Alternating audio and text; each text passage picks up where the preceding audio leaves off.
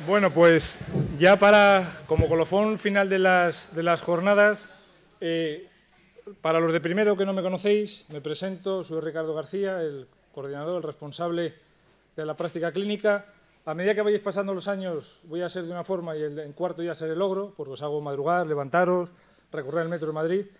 Y viendo lo que hemos oído ahora, digo, ¿de qué os hablo yo? No? Seguimos hablando de inducción miofacial, hablamos de empresa, de cómo ha ido toda la jornada. Hoy sí que vamos a hacer, y muy breve, muy breve, ya incluso cambio, cambio toda la, presentación que estaba programada, para hacer una pequeña reflexión. Una pequeña reflexión a tres bandas. Uno, Seguro, los que estáis en primero, que venís la primera vez, para la redundancia, a un auditorio con gente que no conocéis de cuarto, componentes que no conocéis, con colaboradores de práctica que no conocéis, y os empecéis a hacer las preguntas de, todavía me quedan tres años para que llegue. Los de segundo, que empecéis a tener nerviosismo, ya de propio que el año que viene realmente voy a hacer algo práctico de toda la teoría que me están. Los de tercero, que empezáis a conocer. Y literalmente hablando, los de cuarto, ya os digo, voy a ir pasando, pasando, pasando para, para no intentar hacerla corto. Los de cuarto, conseguir ese primer empleo. Os quiero hacer esa reflexión a tres bandas, lo primero, como alumnos de UFV, porque si yo ahora mismo y os levantáis solo la gente que nombre. David Puello, ¿está? Juan Pérez de Rozas, ¿está?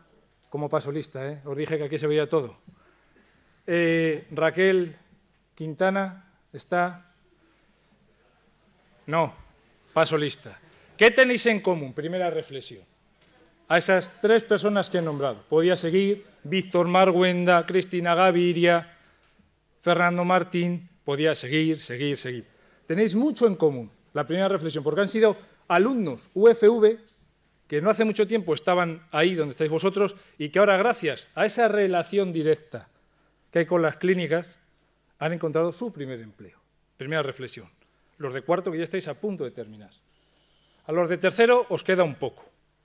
Y a los de primero y segundo, daros cuenta de la importancia que tiene lo que estáis haciendo aquí. Porque realmente, si yo me pongo aquí a conocer, el de primero empieza a entender esto, no. El de segundo empieza a entender esto, no porque todavía no ha visto un paciente real. Habéis hecho preguntas inteligentes ¿eh? por vuestra parte cuánto tiempo se puede tardar en que reaccione el cuerpo. Yo, profesionalmente, me sigo haciendo muchas preguntas si realmente ese tratamiento es, efectivo o no, o mejora por la empatía de la que hemos hablado, ¿vale? Y los de cuarto estáis ya a puntito de conseguir esto. La reflexión que yo os quiero hacer es, ¿quién de vosotros ahora levantaría la mano si yo dijera los nombres de esas personas que han empezado a trabajar en centros donde han hecho prácticas? Algo bueno tenéis que tener cuando los propios centros se quedan con vosotros. Hablaros de la práctica clínica es enseñaros una realidad. Dura en algunos momentos, por supuesto.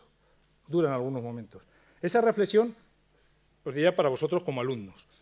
Puedo seguir metiéndome más en la reflexión de a quién va dirigido esto, a los tutores de prácticas. También hay que ser exigentes con ellos, ¿vale?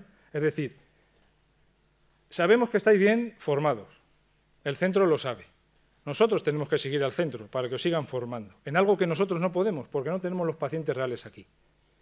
¿Vale? Y la última, no por ello menos importante reflexión, es lo que, yo os digo, lo quiero acortar. Habéis dicho vosotros durante X años que llevamos formando clínicamente, clínicamente a alumnos de esta universidad. La primera he puesto varias, positivas y negativas, y esa ya la reflexión que paso al, profesorado práctico. Alguien de vosotros en un momento dijo, la mejor rotación. Buah, leches, nueve meses, año y medio de formación para que alguien lo, lo resuma en la mejor rotación. Esto lleva consigo mucha información.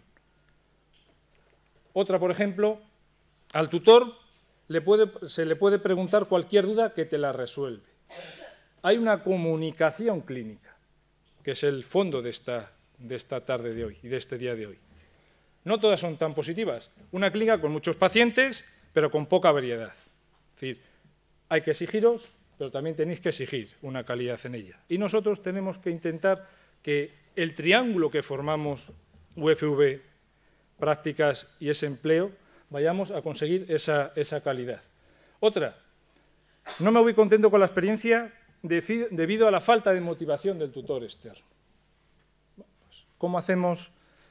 ¿A qué se debe? A que vosotros vais con una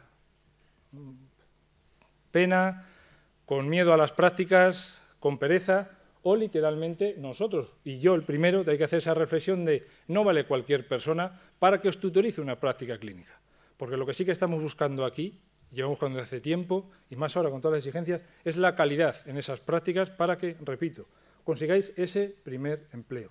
Esas personas que he nombrado, que no hace mucho estaban aquí, están trabajando en centros, están trabajando en centros donde han hecho prácticas. Frase que me oís de ser egoístas para intentar llegar a ese, a ese punto. Yo puedo seguir hablando de qué más decís los alumnos en cuanto a si debo rescatar algo del centro, magnífico ambiente de trabajo, la buena relación entre los profesionales. Volvemos a ver, vuelve a ver esa conexión clínica, esa comunicación clínica. Otro punto que he puesto a posta para afirmar el día de hoy. Otro, me han parecido mis prácticas un poco monótonas. Aquí hemos hablado, ¿vale? El compañero Fernando, de que hay una parte de, humanidades en las cuales nos tenemos que hacer, hay que levantarse. La compañera de empresa que decía, hay que levantarme yo con ánimo de. Es decir, cada día se tiene que aprender algo nuevo, ¿vale? Que seguro que se aprende algo nuevo. La tercera, me hubiera gustado tratar más y mirar menos. Todos tenéis una formación, todos tenemos una formación. Acaba de hacer una pregunta un compañero mío que ha sido alumno de un profesor que hay aquí y que ahora es profesor vuestro. Es decir, no podemos limitarnos a decir, ya lo sé, con una vez que lo haya visto ya vale todo. Porque queremos que seáis diferentes, queremos que seáis diferentes. Y eso lo marcan los cuatro o cinco parámetros diferentes que hacemos solo aquí. Un referente como tutor de prácticas y como fisioterapeuta. Ya os digo, y podía seguir y seguir y seguir. Esto es una reflexión vuestra de unos nueve meses de prácticas. Estas reflexiones, los tutores de prácticas tienen que hacer una valoración de yo no puedo hacer algo monótono, tengo que ser un referente, porque no olvidéis que aquí vamos todos en el mismo camino. Y de hecho, eh, a medida que van pasando los años, intentamos modificar las prácticas para. Digo que lo he resumido mucho porque ya es muy tarde eh, y quería enseñaros unas cuantas cinco diapositivas más para que entendierais y sobre todo dirigirme un poquito a los de primero, que no nos conocéis, que es vuestra primera aparición en un, poquito acto científico, ¿vale? Para que os deis cuenta la universidad que habéis elegido, el esfuerzo que vais a tener, cómo os vamos a apretar de cara, ya repito, a conseguir ese, ese primer empleo. No voy a sacar datos de periódicos, de cómo está la sociedad, porque creo que sois lo suficientemente adultos para entender cómo está el mundo laboral una vez que salís de estas cuatro paredes. A partir de aquí, yo y en el último lugar, claro que tengo que reflexionar en muchos aspectos de, ¿es verdad que el tutor externo tiene que ser un amigo o ya necesita tener una experiencia? Haré mis preguntas. ¿Podemos cambiar? Ya son reflexiones mías. Os decía que vamos a hacer tres reflexiones, la vuestra, la del tutor y la mía. Es importante que veáis un mes o que vayáis tres meses al mismo sitio. Ganamos más, ganamos menos, todo es un baremo, vamos a ver qué es, qué es lo mejor. ¿Podemos pedir literalmente esa calidad? Sí. ¿Cómo se puede pedir? ¿Fríamente? Pues ahora ya hay una serie, antes han hablado algo de Bolonia, ya nos obliga, o nos pueden decir, pueden poner los tiros de, o algún centro pedirnos cierta calidad del alumno, ¿eh? porque ese centro eh, quiere una calidad para sus personas.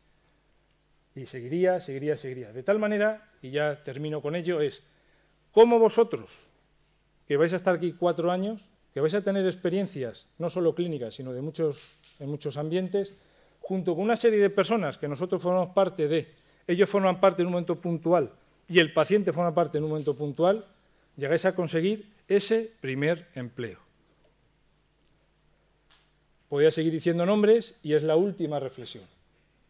¿Quién de vosotros ahora mismo se levantaría queriendo ser esas cuatro o cinco personas que he nombrado antes?